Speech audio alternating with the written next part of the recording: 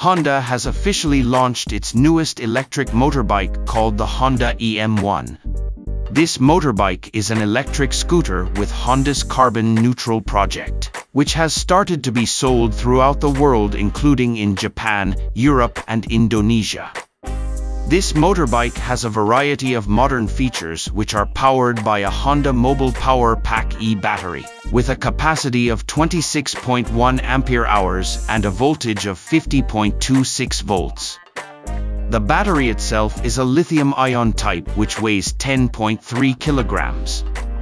In full condition, the battery is capable of driving as far as 41.1 kilometers, with a maximum speed of up to 45 kilometers per hour.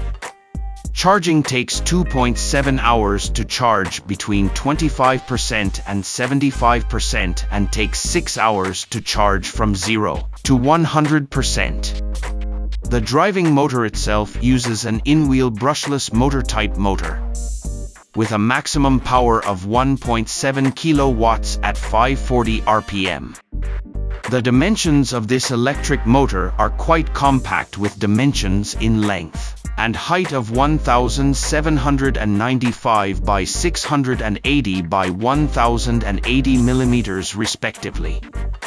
The ground clearance is 135 millimeters, the seat height is 740 millimeters, while the empty weight reaches 93 kilograms. The frame uses this type of underbone, telescopic front suspension, front disc braking while the rear uses drums with a combi brake system. The front wheels measure 90-90 ring 12 inch, while the rear wheels measure 190 ring 10.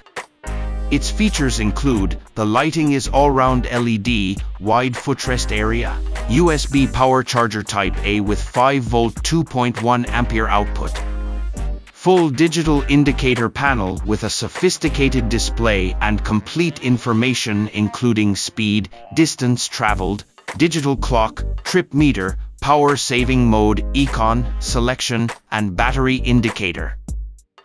This motorbike also has a battery safety lock to keep the battery position locked safely while driving.